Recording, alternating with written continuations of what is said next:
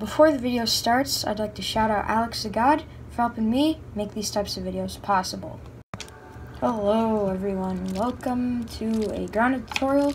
Today I'll be teaching you guys how to make a pebblet axe, pebblet spear, pebblet hammer, and a spiky sprig.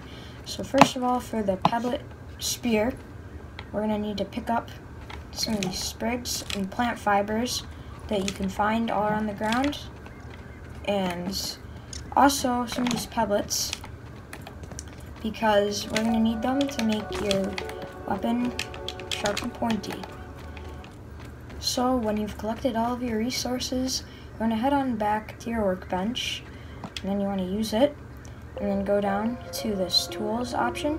And by the way, I'm in creative with bugs right now, so nothing can damage me and I have all of the recipes synthesized. So what you want to do is you want to scroll down and well you prob these will probably be like the only things you have unlocked right now. Uh, so what I'd want you to do is see the pebblet spear. It only costs two sprigs, three plant fiber, and one pebblet.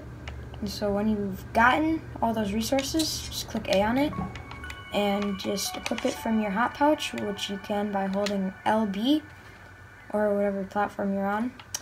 And then you'll have it equipped, and now you can go and stab things. Now onto the pebblet axe. So, what you need for the pebblet axe is crude rope. And in order to make this crude rope, you need to go to the material resources and scroll down until you find crude rope. That is also probably one of the only things you have unlocked. And then you can just craft one of them. It costs three plant fiber, by the way. You can find that stuff on the ground, like I showed you. And then you can go back here. And then scroll down, and then craft your pebble axe.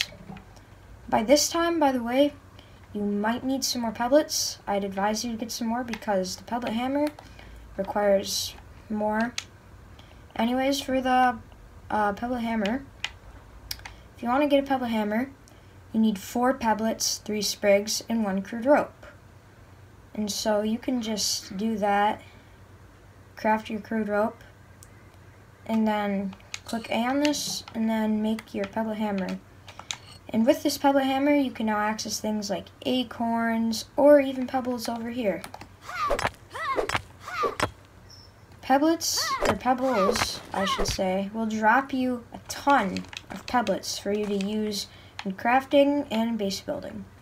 Now lastly, for the spiky sprig, I don't really advise you guys to use this weapon, um, uh, but I will just kind of show you guys how to get it, because, you know.